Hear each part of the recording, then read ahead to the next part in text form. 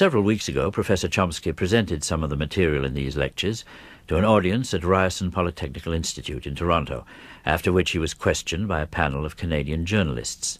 This is David Frum, associate editor of Saturday Night Magazine. Professor Chomsky, you, you argue for a model of the media in which the media argue for and defend the established institutions of society. And any deviation from that defense uh, is, is dismissed or, or even, even suppressed, so that views that, are dis- that dissent from the uh, overwhelming consensus that characterizes our society cannot get a hearing. Now, here you are tonight uh, in a large lecture hall at Canada's most prestigious journalism school, speaking to an audience of journalists who are hearing your remarks with apparent approbation.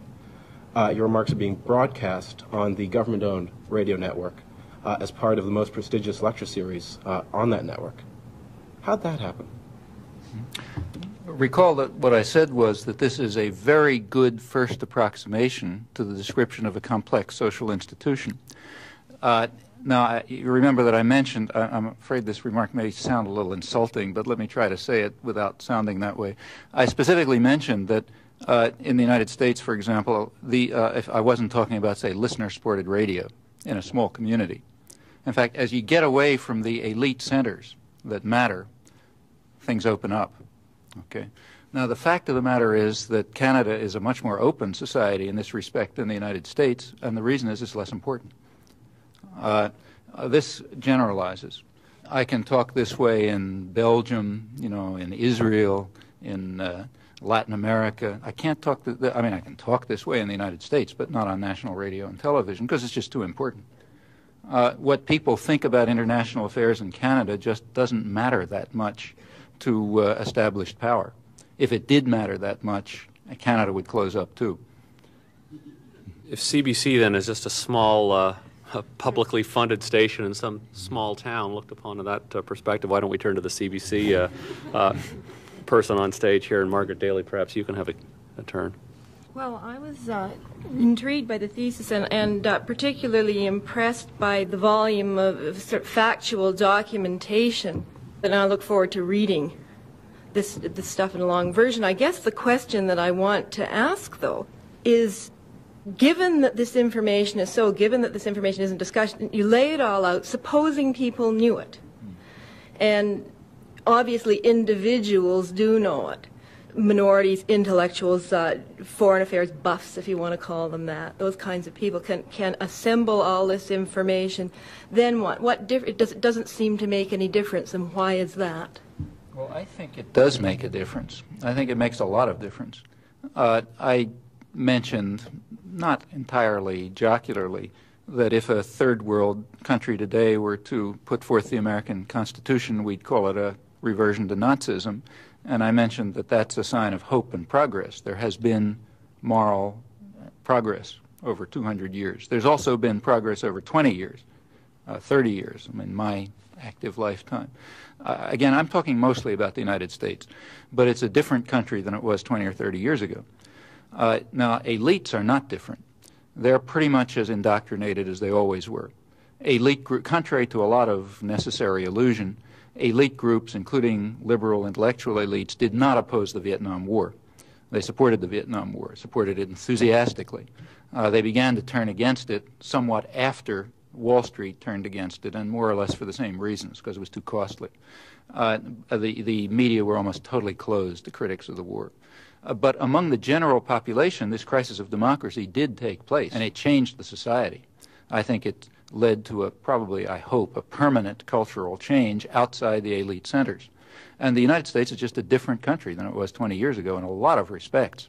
Uh, everything from interpersonal relations to treatment of ethnic minorities to uh, concern over international affairs and so on.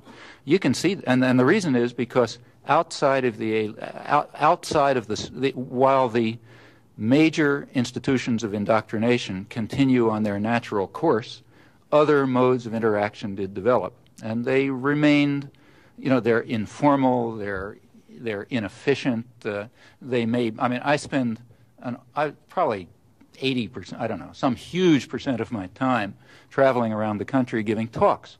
Well, you know, that's less efficient than writing for a major journal, but uh, people do this, and ultimately it makes a difference. There are solidarity groups, there are all kind of organizations and so on, and they do make a difference. You can see it.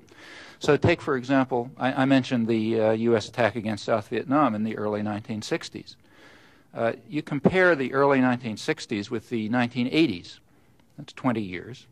Uh, when Ronald Reagan came into office, he, his administration, in my view, intended to uh, emulate uh, John F. Kennedy and Lyndon Johnson, except they, their target was Central America. The, they came out with a white paper in February 1981, right after they came into office, virtually a declaration of war. The communists are taking over the world. We've got to go in there and stop them. Uh, it was a precursor to, to direct U.S. military intervention in Central America. Now, what happened? What happened, was, and the, the media, incidentally, bought the whole story. There was virtually no criticism of the white paper when it came out, just enthusiastic support for it. However, the general population didn't, because the population is not what it was in the early 60s.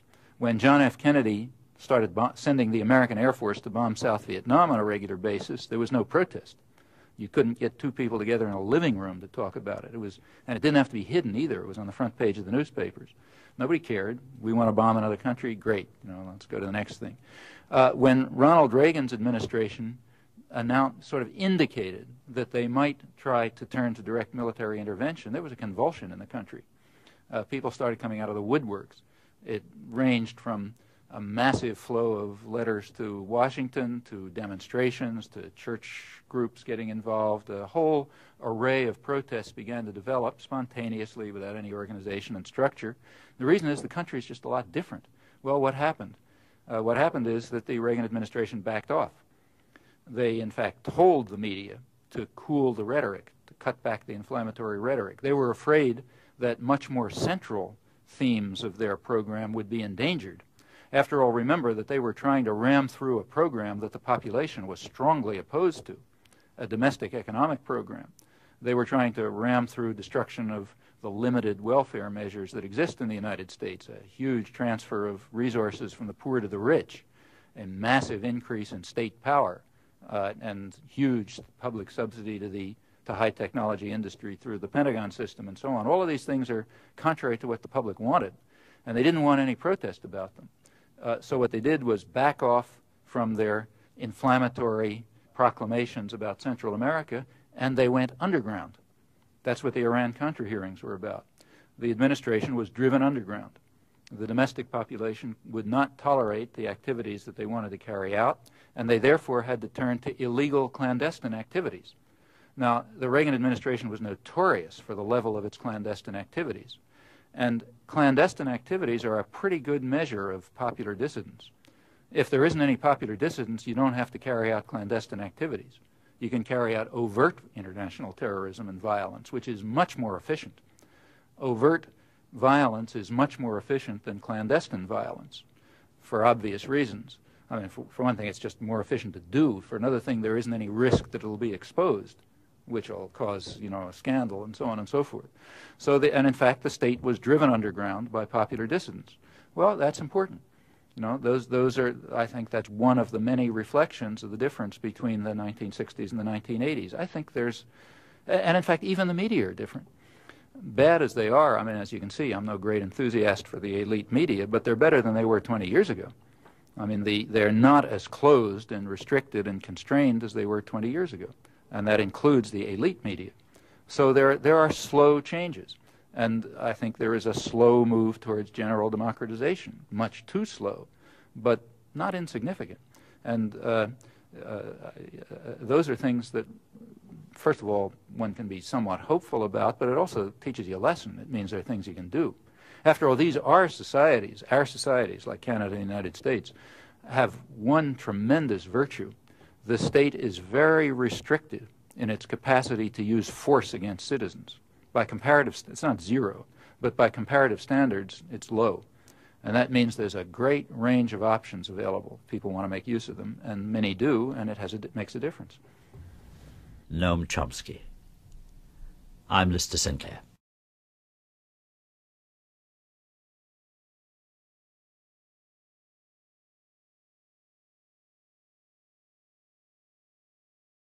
Canadian journalists. This is David Frum, Associate Editor of Saturday Night Magazine. Professor Chomsky, you, you argue for a model of the media in which the media argue for and defend the established institutions of society.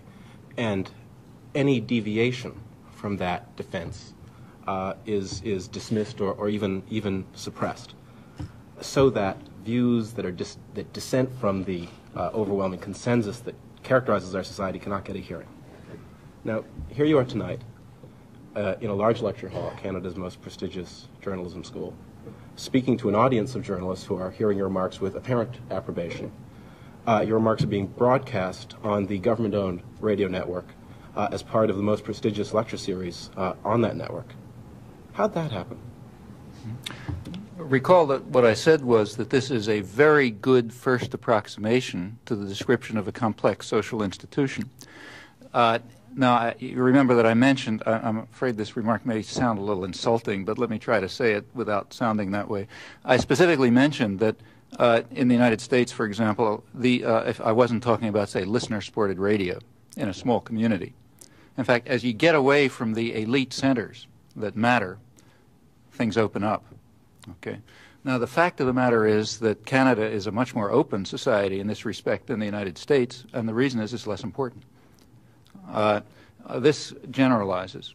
I can talk this way in Belgium, you know, in Israel, in uh, Latin America. I can't talk. The, I mean, I can talk this way in the United States, but not on national radio and television because it's just too important.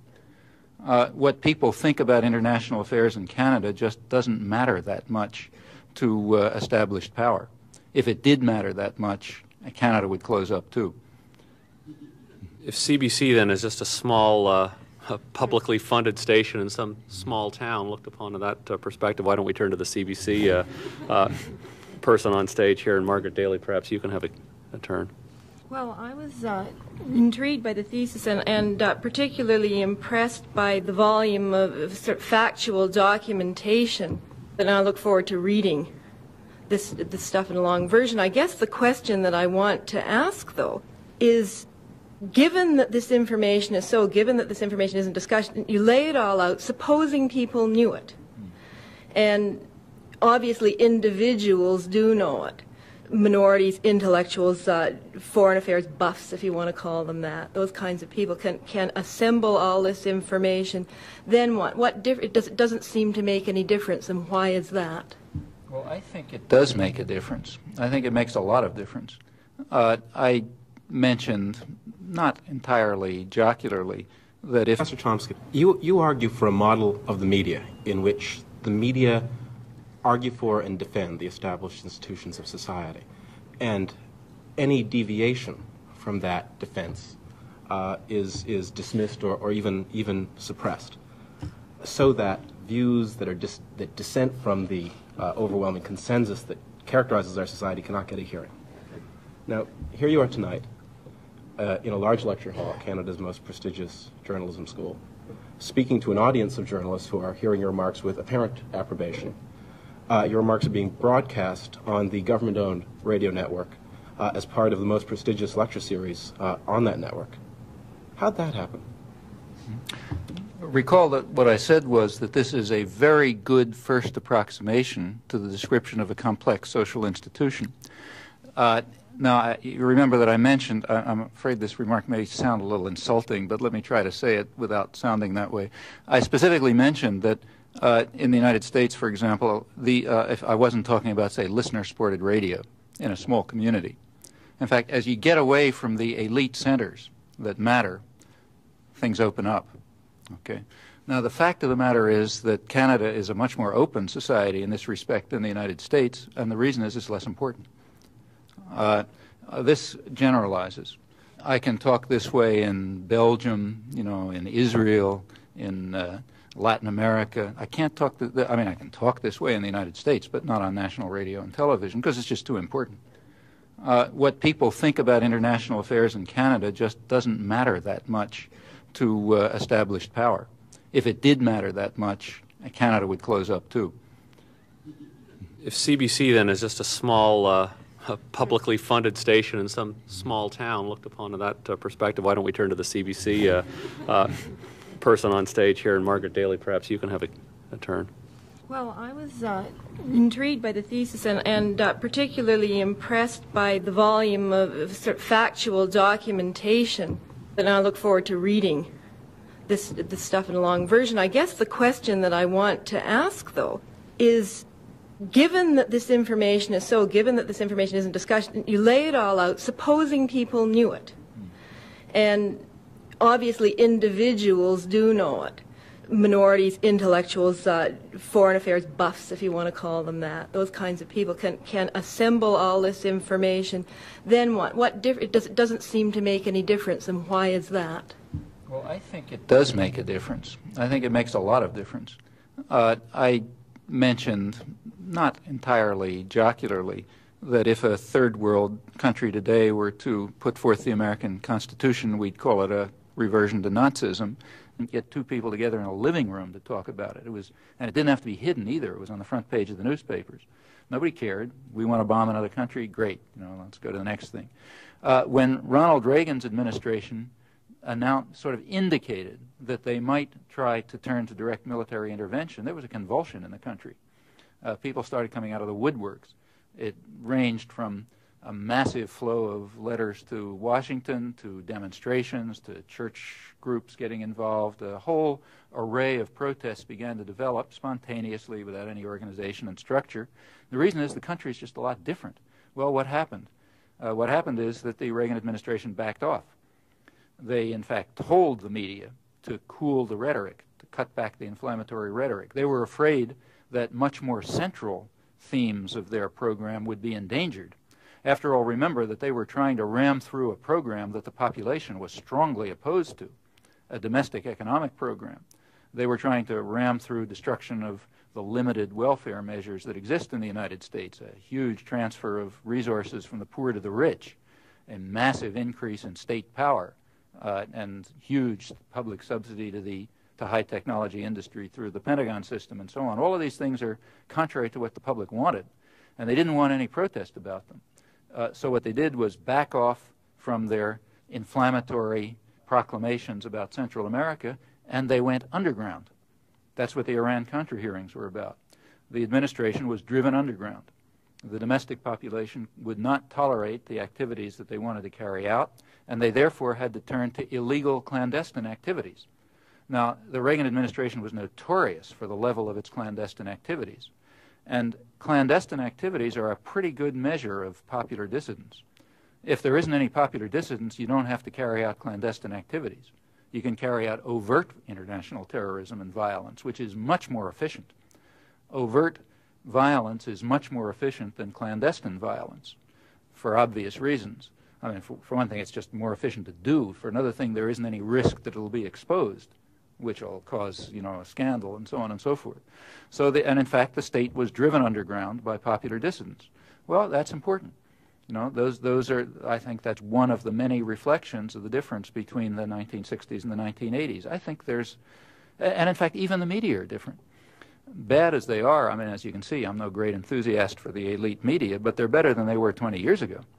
I mean, the, they're not as closed and restricted and constrained as they were 20 years ago and that includes the elite media. So there, there are slow changes. And I think there is a slow move towards general democratization, much too slow, but not insignificant. And uh, uh, those are things that